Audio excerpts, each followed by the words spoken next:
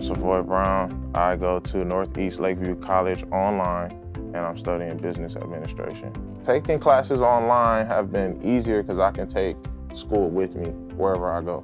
So it just helps like being able to kind of balance my time a little bit. Like I, I, have a routine, I try to stick to it. I can get to my homework, I can get to, I gotta study, I gotta read these chapters, I gotta take this quiz, I can get to that. So that's been one thing that I can say for me that like being a full online student has been like very beneficial.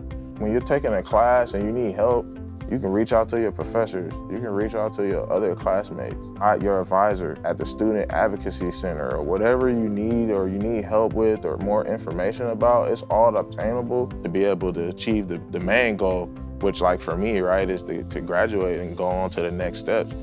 That's one thing that's really helped me out so much. So, and I'm very appreciative of that it, going to this program in particular, like being a part of Alamo Colleges, for me, it, your goals are obtainable because you see somebody or you're speaking to someone that is probably doing what you want to do or they're working at the college and they're like, hey, this is this is cool. Like, I'm I needed to hear this because even taking classes online, you definitely learn through other people's journeys and stories.